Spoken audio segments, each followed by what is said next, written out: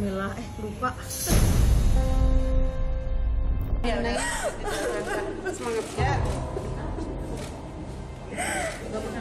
Lina Mukerja menangis saat akan dimulainya sidang perdana atas dugaan penistaan agama dari konten makanan yang diunggahnya beberapa waktu lalu.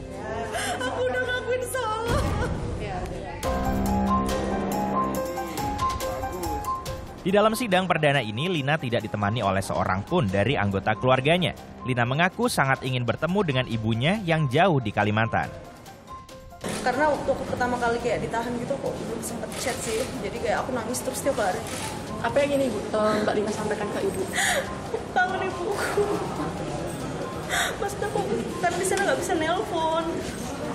Jadi ibuku tuh di Kalimantan jauh banget sih. Jadi kayak aku pengen sih telepon ibuku, keluarga aku. Lina juga terlihat sendiri tanpa pendampingan kuasa hukumnya.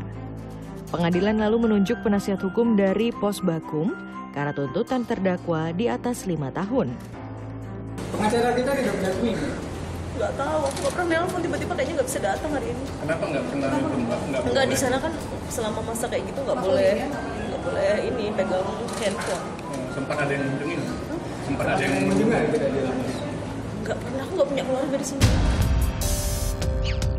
Nah, tanggapan kita terdakwa dia mengakui dan dia, dia meminta maaf kepada mas- masyarakat yang merasa dirugikan. Pengacara dia kan tidak ada dan saya ditunjuk dari Puspakum untuk mendampingi.